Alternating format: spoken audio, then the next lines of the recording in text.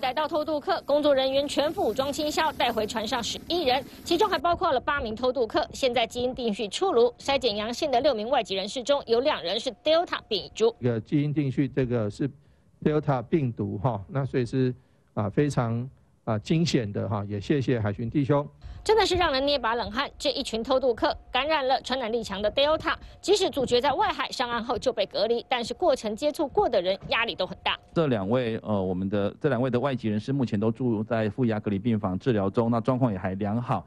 那其他有接触的这十六位哦，我们会。在定期的做一个呃二筛哈。原来真销人蛇船二十日上午，海巡单位在安平外海发现他们登船检查之后，发现除了三位合法的船员之外，还藏有八名的偷渡客。这些人来自于印尼和缅甸，经过筛检，六人是阳性。第一批基因定序出炉，两人是传染力强的 Delta，另外四人还在理清中。市长黄伟哲一度震怒，因为要是真的让他们偷渡上岸，传播出去，后果可能会更糟。渔船上来进行这个这个。